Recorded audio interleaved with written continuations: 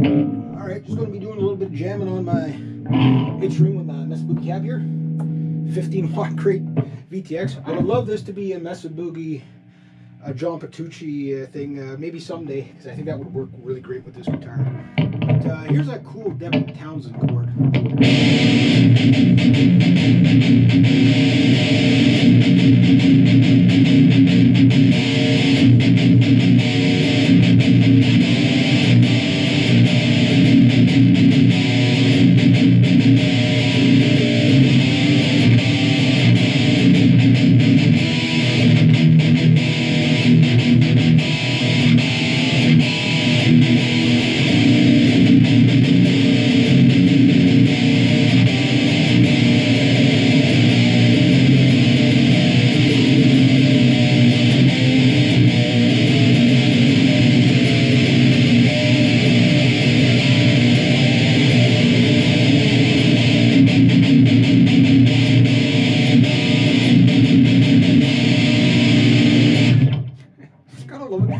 Favorite part of the eight string is the low B. It really is. It's so good.